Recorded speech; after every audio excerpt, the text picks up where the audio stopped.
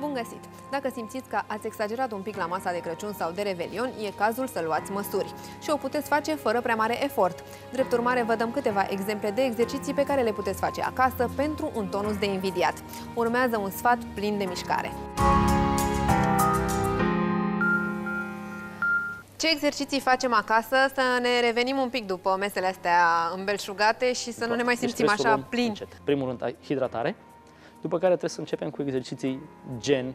Am vorbim foarte simplu. Pentru Da, oameni să care facem pot acasă, nu oriunde. vrem să ne deplasăm încă și ca Exact, să o luăm încet, exact. o, luăm, o luăm de acasă. Deci pur și simplu, să zicem, imit mersul, da? Ok. Deci pot să fac mers pe loc. Bun. Vreau să adaug ceva, iau două sticle uh, cu apă, care nu le umplu până la capăt, le pun, să zicem, trei sferturi, ca apa să joace, să-mi, să-mi dea un, ce, ce se numește în ardeal reactive impact, un impact reactiv, după care pur și simplu mersul ăsta sau fandarea care o facem în sală, e de fapt ce?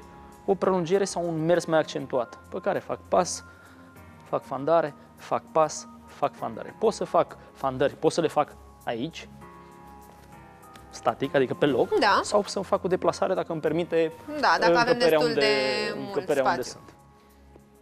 Mergem mai departe. Da, Genuflexiuni. Da? M-am stabilizat. Dacă e cineva care are probleme cu spatele, cu un genunchi, cu o gleznă, ceva, atunci puteți să folosiți un scaun. Na, Mă așez, ne așezăm, ne ridicăm. Revin sus. Mă așez, revin sus. Cine nu are niciun fel de problemă și îi permite și mobilitatea și tot, mă pot duce cât mai jos posibil. Ideea e să fiu, să păstrez spatele drept, privirea în față și să revin sus. Și cam cât sport ar trebui să facem să ardem, de exemplu, două felii de cozonac? Că până la urmă, na, asta e și important, să slăbim dacă tot am pus ceva. Depinde. E vorba nu de cantitate, e vorba de calitatea exercițiului care îl pot face. Ok, deci ardem 500 de calorii Putem să ardem, cam putem să la ardem o... 500, într-o oră putem să ardem 500 Ah, de calorii. Adică Dar la două fel- felii de cozonac. Că important e să ne transformăm grăsimea în mușchi. Da, până la urmă. să spunem că asta ar fi. În Simplist. limba simplist, exact asta e. Deci ne putem tonifia și dacă lucrăm doar cu greutatea corpului, chiar și acasă. Bineînțeles, e- enorm de mult. Abdomene? Facem și abdomene? O să facem și abdomene, numai că abdomene, uh, mai ales cu mine, nu o să faceți niciodată abdomenele pe care le, Nu, acasă, le știți voi. ce știm și acasă, noi. perfect. O să vorbim de planșă. Și la ce trebuie să fim atenți, deci? Bun, deci ce trebuie să fim Ca să o atenți facem cu- corect. Ca să o facem corect. Prima dată mă întind. Bun. Sunt cu fața în jos, o să uh, trebuiască să pun coatele exact sub, uh, sub umeri. Și spatele drept. Asta e prima, prima fază. Abdomenul trebuie să fie în beton. Vreau să încarc și mai mult puțin abdomenul, ce fac? Împing un pic călcâiele departe. Da? Vezi cum ar veni? Am alunecat puțin în spate. Ăsta e Pare punctul simplu patru. când mă uit la tine, dar sunt sigură că e Este. foarte grea. Începători și probleme, 10 secunde. 10 secunde. Sunt undeva la intermediar spre avansat, mă pot duce în 20, 30, chiar să spunem 40, 45 de secunde. Mă interesează să lucrez pe lateral, la fel, planșă laterală, Mhm. pentru că cine face legătura între partea din față și partea din spate e lateralul. Da. În mișcarea asta e implicat cine? Sunt implicați fesierii, sunt implicați oblicii. uh, lombarii, oblici, interni, externi, uh, pieptul, spatele, toate mișcările. Dacă sunt confortabil cu poziția, pot să întind brațul sus, cum ar veni să încerc să prind tavanul. Dacă da. încerc să prind tavanul, întind bine spatele. Tot 10 secunde. Pe fiecare parte.